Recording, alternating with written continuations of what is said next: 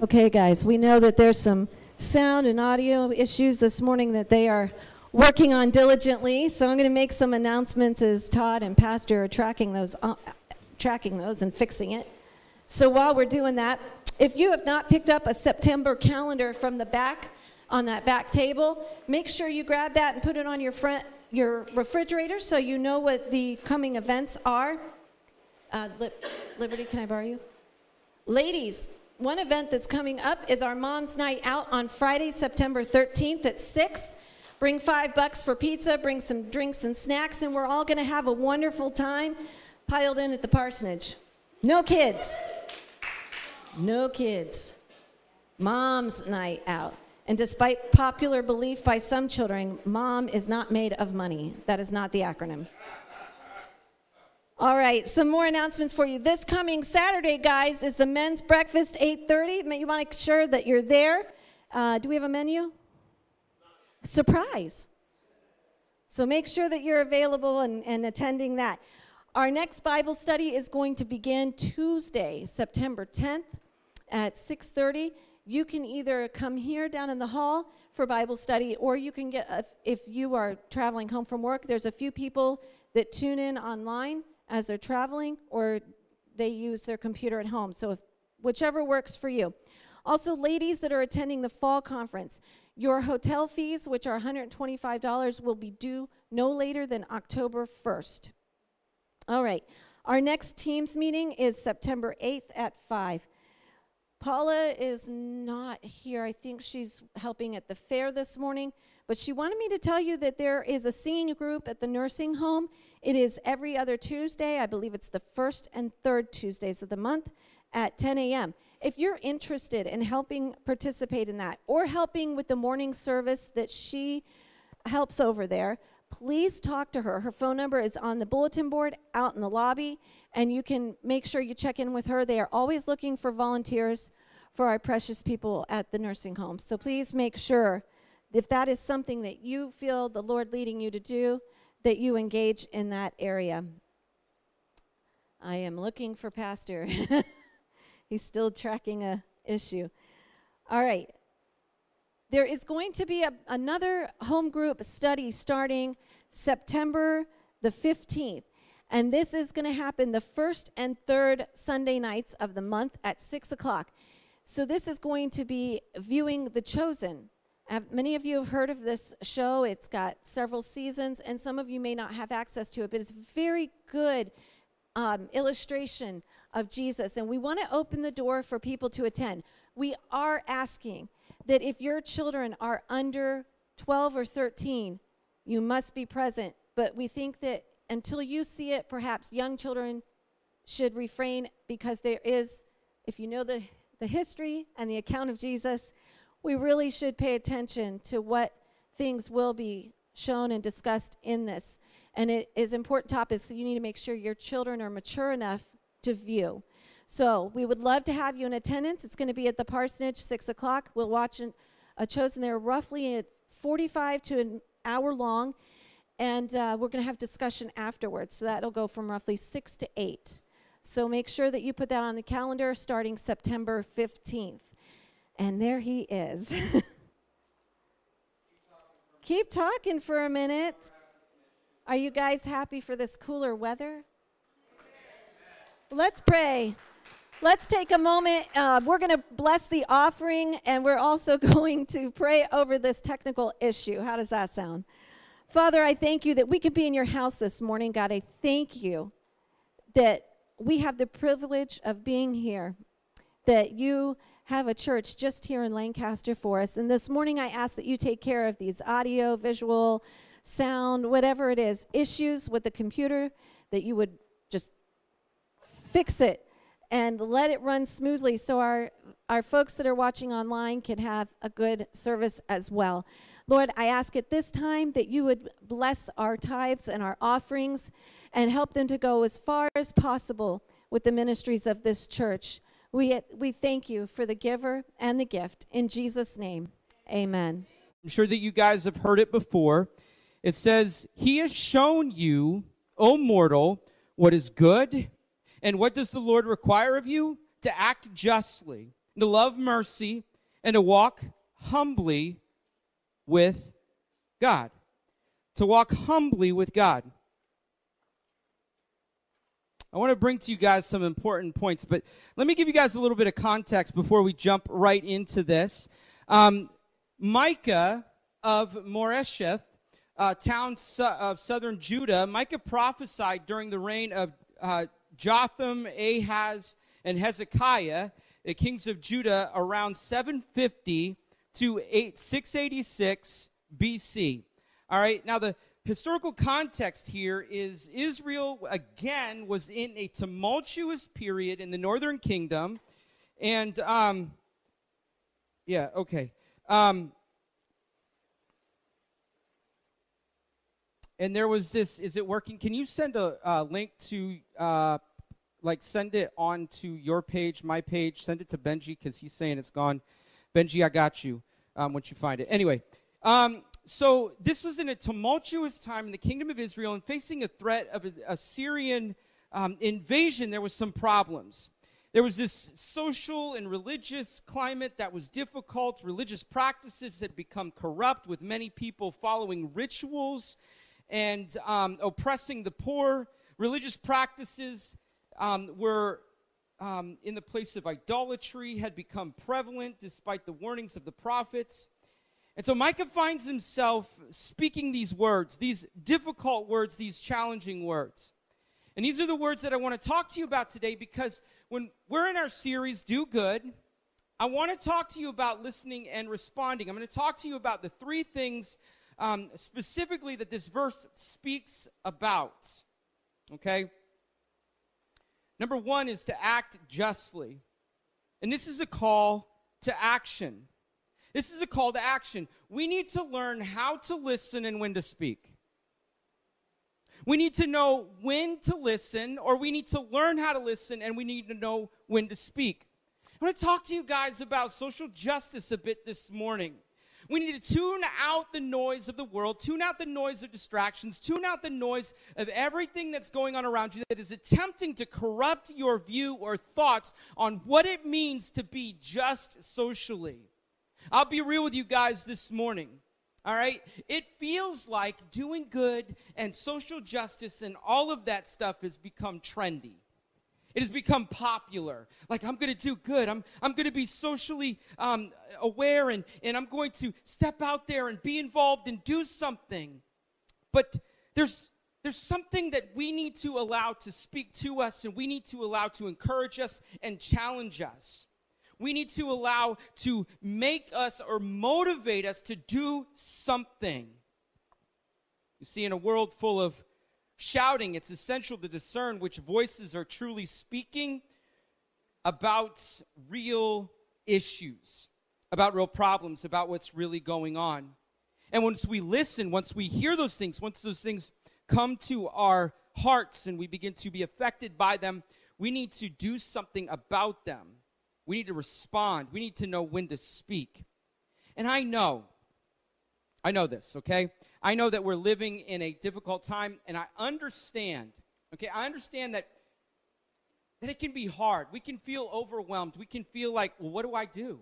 What can I do? How can I respond? How can I do anything about the issues and the situations that are in front of us right now? What am I supposed to do?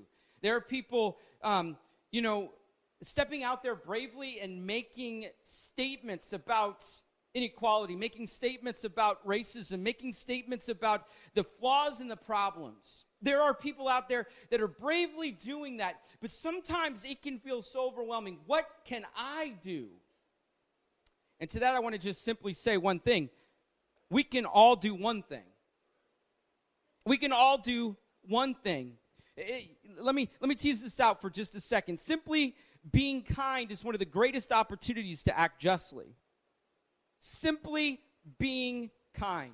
Stand up for someone. Refuse favoritism. Refuse to laugh at jokes that aren't funny. Now I know that sometimes, and I'll be I'll be real. I'm going to wade carefully into this, but um, some of our culture has gotten kind of soft, and and like things that are a little funny that are okay to be funny should be funny and not like offensive. But then there are some things that people say that really aren't funny that they shouldn't say. Like it's not about being soft. It's not about you know being oh you know um, you're just too you know you, you're just offended about everything. You know some things we should be offended about.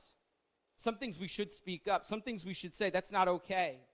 One of the greatest ways for us to do something, one of the greatest ways for us to respond, one of the greatest ways for us to do um, get involved is to simply be kind to simply be compassionate, to, con- to simply say something nice. Do you realize how many people are out there? It doesn't matter, okay? I mean, it does matter, but I'm talking about skin color. I'm talking about language barriers. I'm talking about economical barriers. I'm talking about where you are in this world. And there are so many people that feel so socially ousted.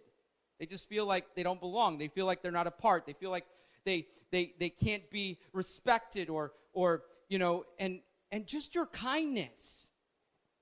Saying something appropriate, saying something kind, saying something sensitive and polite, saying something that matters is important. And when people see that around you, when people see what's going on, when people see your life and they're like, wow, something big is happening there, something grand is happening there, something great is happening there, they're saying what needs to be said. They're speaking about what needs to be spoken about. Because God has told us through Micah, this, this situation, it was bad, it was not good. And he's saying, look, act justly. This requires involvement. I mean, no disrespect when I say this, but silence is the same as being complicit. And that's harsh. That's hard.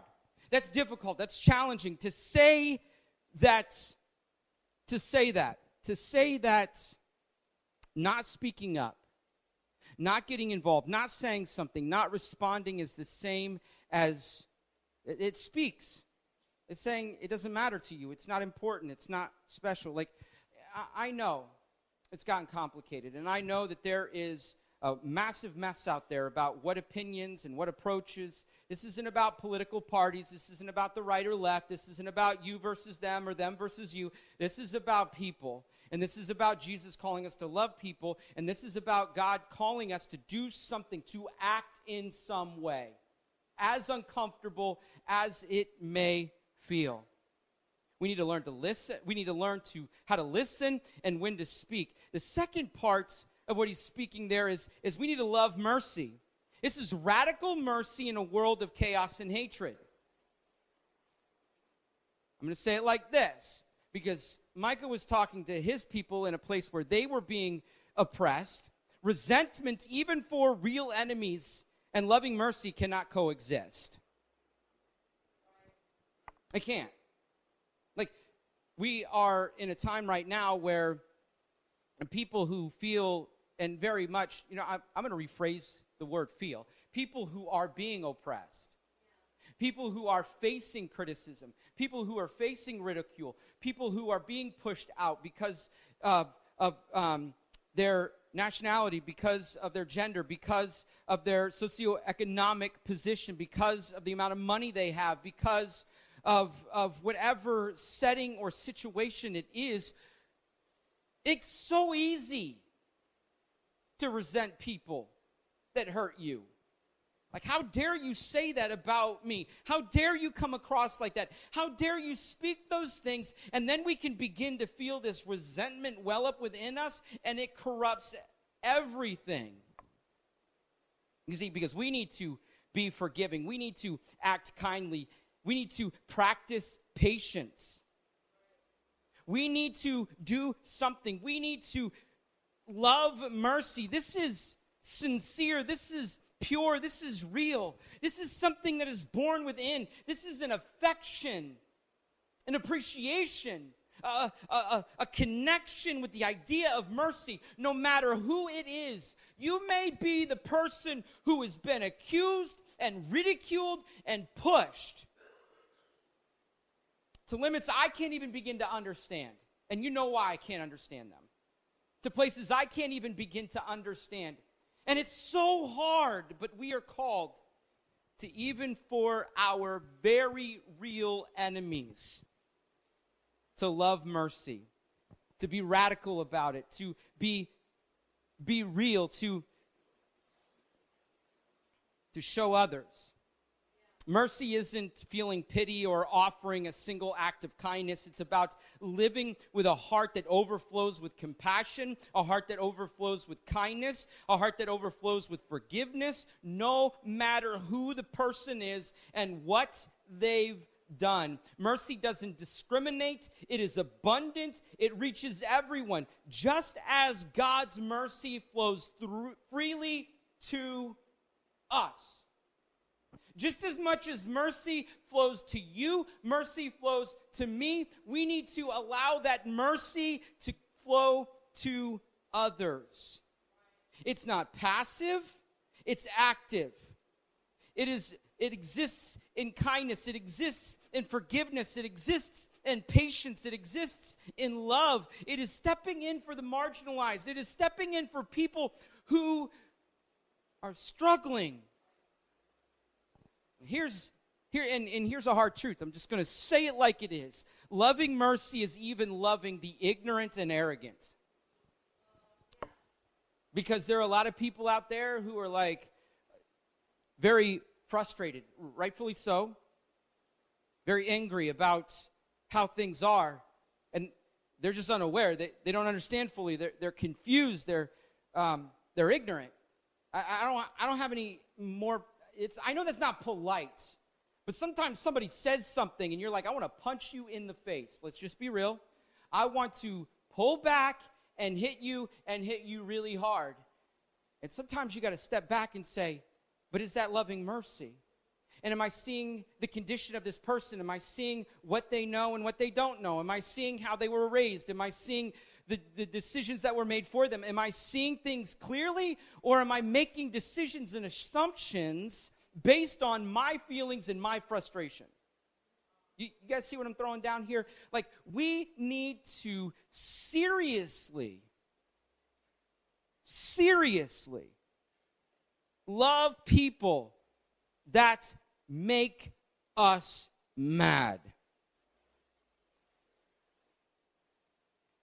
I mean, we think of the parable of the Good Samaritan. I don't have time to go through it this morning, but the, the people of high prominence and high standing pass by, but there's this man who has been beaten and bloodied, left for dead. And an act of mercy not only brought him to an end, but paid for his care. Now, we can, we can act justly, we can love mercy, but we're asked to do it humbly. Micah wants us to walk humbly. This is a heart of sincerity. I don't know if you guys have ever been in a situation where someone is being kind, where someone is being compassionate, where somebody is stepping in to say something, and you're like, you're not being real. This isn't sincere. You, you know, like, um, I don't, I don't feel like you're, you're really showing me the kind of, kind of love the kind of acting in mercy and or acting in justice and, and loving mercy i don't, I don't feel like it's real. It, it doesn't feel sincere. It feels like uh, it's an expectation that you just have to do like oh well you know i'm, I'm getting pressured on every side. People are going to have problems if i don't speak up if i don't say something. And then you say something and they're like what is that? That's that's gross. It's not real. It's not personal. It's not you doing something out of the sincere love that exists within you. Matthew 22, 36 through 40. They're trying to trip him up. They're creating problems. They're asking Jesus what is the greatest of all commandments. And he makes this statement when he's asked. It says, Teacher, which is the most important commandment in the law of Moses? All right? And Jesus replied. Now, if you look at the Ten Commandments, you'll see this. It's about God and others. If you look at the Ten Commandments and read through them, you will notice this over and over again through each commandment. You must love the Lord your God with all your heart and with all your soul and with all your mind. This is the first and greatest commandment. A second is equally important. Love your neighbor as yourself, or love others. The entire law and all the demands of, um, of the prophets are based on these two commands. These two commands. Because Listen, humility is the foundation of genuine transformation. True change doesn't come from a showy gesture, but from a heart that seeks to serve others with love and, hum- and humility of Christ, the humility of Christ. This is something that changes within a person, something that motivates them. Let's go back to that verse for just a minute, okay? In Matthew 22. And let's let's begin to ask ourselves like how do the words of Micah ring clear in this. In verse 38, love your neighbor as yourself. Love others as yourself. Love people, right? The Bible tells us to fir- he, we first love because he loved us.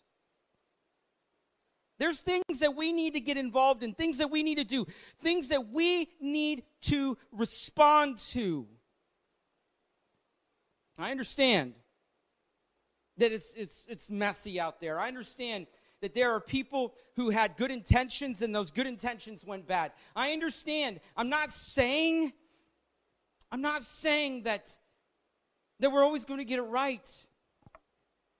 We've seen where, where um, marches and protests and walks and, and parades and all of that stuff have gone seriously awry. And it's not just here and now in these moments, it happened back in the civil rights moments. This is problematic. And it's not like, oh, well, it's the people who started it or the people who were parading or the people who were protesting. It's their fault or, or it's, it's the people who got involved and started pushing back. It's their fault. It's our fault. I'm sorry. It's our fault. This is our problem. Why do people have to do that? Because we are, we have an issue. Now, this is an unpopular truth, and I'm, I, I want to be careful when I say this, but we're all, we're all discriminate. We, we, we discriminate. We, we have our opinions, we have our ideas, we have our thoughts. We see somebody and see how they look, and we make immediate judgments about them. When, when, uh, when David, King David, before he was King David, was being anointed, his dad offered all of the other sons to Samuel. He's like, look at this guy, and look at this guy, and look at this guy. Look how wonderful and handsome and beautiful these are. And, and, and Samuel's like, not any of these guys, not these ones. I know they're, you know, they're the elite of your family, but not these ones. Where's the other one? Oh, he's, he's doing stuff with the sheep, which was the lowliest of low. And and that was David. He was the guy.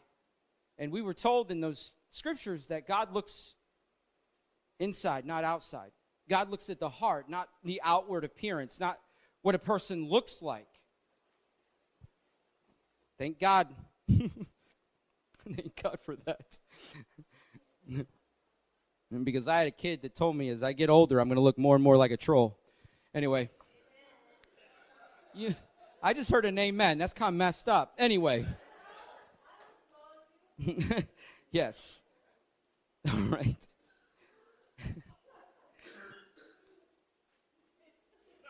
it's all right. It's all right. How do we personally practice this, though? How do we practically act justly? How do we get involved? How do we step out there bravely and do something? We all have an issue with this. We all have a problem. And we all need to step up and we all need to be the church. We need to be who the church has called us to be. We need to be who God says we are. Our reconciliation starts with God. We are to be people who reconcile others to ourselves, right? In Acts chapter 2, what does it tell us? That we are to be a church from all different tribe and nation and tongue. That we all get to, to be together and beautiful things happen. But how do those things happen? Well, you need to begin to operate as Micah described. How can you expect someone to come in here and participate and be a part of our church if we aren't acting justly, if we aren't loving mercy, if we aren't walking humbly? And here's, here's the beautiful thing, guys. I say, how do we expect? And sometimes we feel like, oh no, you know, pastor's coming and he's swinging hard. I will say this I am seeing in this church, in the movement here in northern New Hampshire, at Lancaster Assembly of God, this is being lived out. It's happening. It is happening. Like I can understand other places where that are closer to certain um, more busy and congested areas where people who are diverse gather, but way up here north, where we're seeing in our services more culture, more diversity, more opportunities to minister to people. That's beautiful. And we're participating in that. We're a part of that. I wanted to continue. I wanted to grow. I wanted to move as we do good, not just because we feel like we're expected to, or we feel like it's necessary, or we have to, or the culture is pushing us to it, or, or the church is pushing us to it, or we feel even the pressure from God. I want us to do it because we love Jesus, and this is what Jesus has called us to do to love people who are not like us, to love people who are different than us and this is big, I mean, it's everywhere. To love people who walk in here and smell funny. To live love people who walk in here and and don't have much.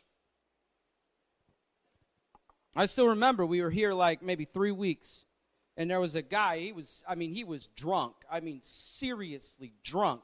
And he was walking right out front here and, and he saw the doors were open. He stooped his butt right in here and sat down. I mean, he smelled and he sounded funny because he had had too much.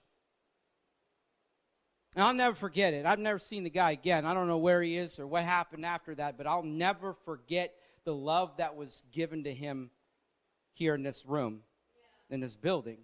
It was beautiful. It was beautiful. Like, like, it was, it was, it was wonderful how people treated him and how people cared for him and how people were affectionate to him and kind to him in his time of need.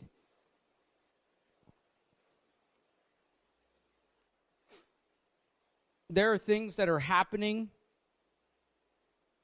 and our decisions today will determine what side we land on. And I know that I said this isn't about sides, but whose side are we to be on? We're not building a kingdom here, we're building a kingdom in heaven. We're not trying to get people over to our side or over to our opinion or over to our thoughts. We are to win people to Christ. We are to what? Capture every argument that stands against the truth and the knowledge of God. We're to capture them, we're to hold them, we're to to keep them from harming and watch as people respond. I'll say it over and over again. Our mission as a church is to rob hell of as many people as possible. That's what we're called to do. I want to do everything in my power to share Christ, to share who He is, to share His mercy and His love.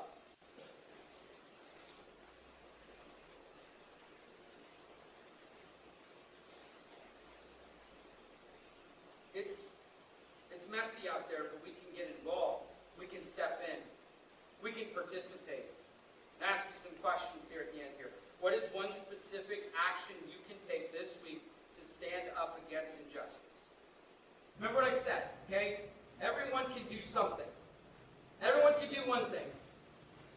Everyone can do one thing. Now, I'm not telling you like, oh, I'm going to get on my social media. I'm going to get on my, my Facebook or my Instagram or my Bluesky or my threads or my, you know, TikTok or my, on and on and on, right? Uh, there's so many different social media places. You know, like, don't, hey, I'm going to be socially just and then send a message out there that's just going to make everybody mad. Like, that's not what I'm saying. All right? That's not what I'm saying. Like, it might feel good at first, but in the end, everybody is, it's, it's not good. But we can take an action of some kind. We can love somebody. Don't make it awkward. Like, ooh, this person is different than me, so I'm going to go and show some overly awkward love. No, don't do that. That's just strange. Don't be like that. Don't be that person that's just going up to people that are different than them and saying, hey, look, I'm loving someone that's not like me. Something we can do, though. We can be kind. We can speak up. It might not be.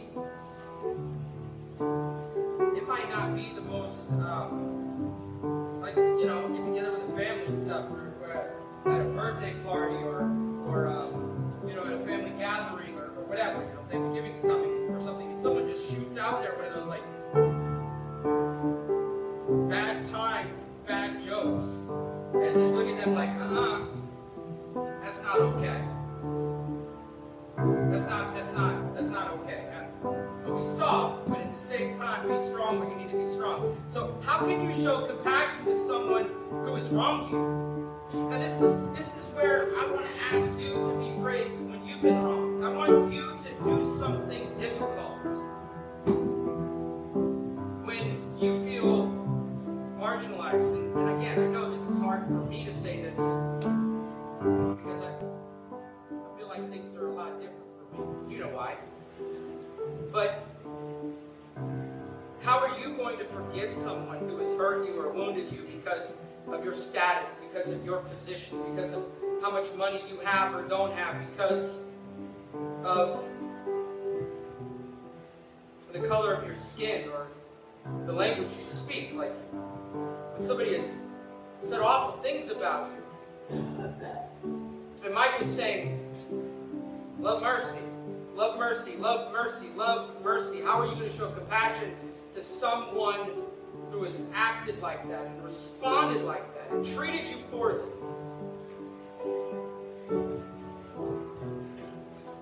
How can you ensure your kindness is done with a humble heart?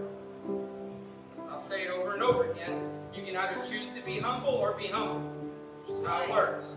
All right? The Bible tells us that in the last, every knee will bow. Yeah. You just got to choose when it's going to bow. Right. You can bow now or you can bow later. It's just that it's that simple. We need to walk humbly. We need to be kind with a humble heart, with a heart that is sincere and a heart that is real. A heart that people are going to see and know that Jesus' love really exists within you. And they're going to notice that it's not just like a, a pressure to do something because culture is pressuring you to do something or the church is pressuring you to do something. They're going to say, wow, look at what this person did. That's love. That's sincere. That's real. That's beautiful. They're humble.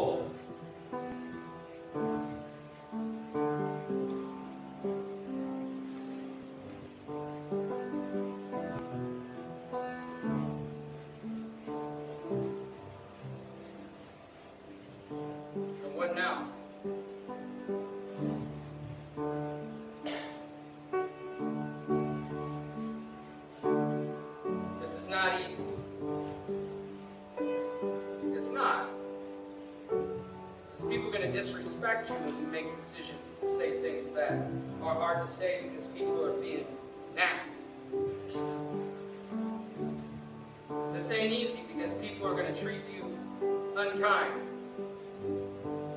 They all offended anyway. I mean, let's be real. Everybody's offended. There's some reasons we should be offended, though. There's some dumb reasons to be offended, but then there's some appropriate reasons to offended. The stuff I'm talking about right now are an appropriate reason to be offended, but what you going to do with that? How are you going to respond to that? How are you going to act to that?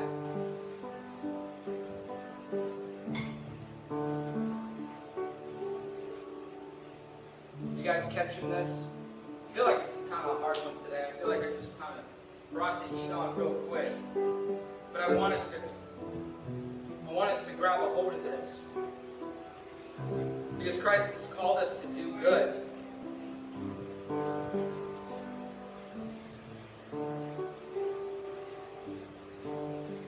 Our um, our world is so fractured and so broken. Our country is so fractured and so broken. People are being awful to one another. Doing things to each other, saying things to each other, hurting and killing each other. And I want us to be different. I want us to be different. I want us. I love my church and I love what you guys are doing here, and I'm so proud because I see existed within this movement of people that are going to change culture. I don't want to be like one of them.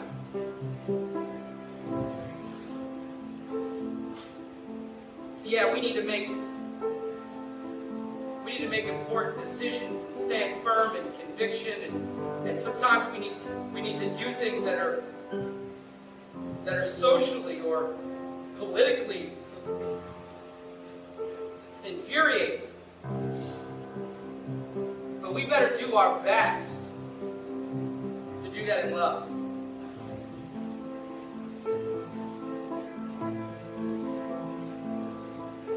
It's too much hate. And I don't want any part of it. And I don't want you to have any part of it either.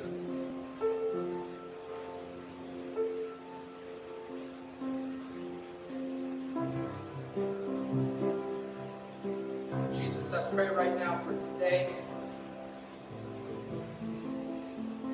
Lord, I pray right now that we would be challenged, that we would be encouraged, that we would be motivated, Lord, even in the complications of this life. It's not easy being a human being. It's not easy being a Christian right now. It's not. But But here we are.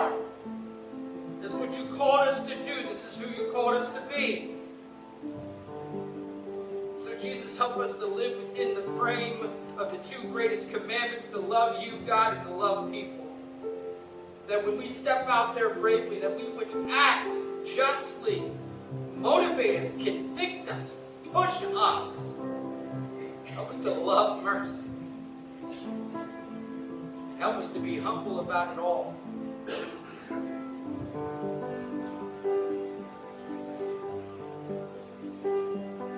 Thank you for the work that you've done here work that you're continuing to do.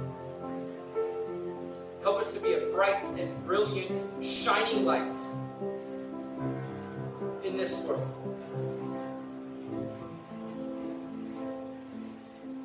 It's in your name we pray, Jesus.